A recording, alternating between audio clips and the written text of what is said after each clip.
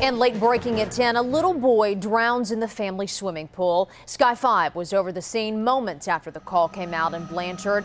KOCO's Michael Seiden is live with the breaking details. Michael. Jessica, this is a terrible story. The little boy died here at Norman Regional. Now, investigators tell us it was around 5 o'clock this evening. His parents reported him missing, only to find him in the family swimming pool. This crime tape at this Blanchard home where police say a three-year-old boy fell into his family's pool and drowned. The initial call was a missing child, a missing three-year-old child. Um, en route, it was later determined that uh, the child had fell in the pool. Sky 5 captured frantic moments as paramedics and officers swarmed the property.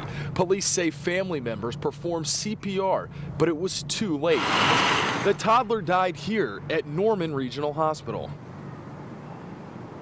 Now, investigators tell me they will probably not identify this child until sometime tomorrow morning. Also, they want parents to use this as a tragic reminder that as it gets warmer out and you're going to have kids by the pool, remember there are precautionary measures like putting your pool cover up or even putting a portable gate around your pool. Reporting live tonight in Norman, Michael Seiden, KOCO, Eyewitness News 5.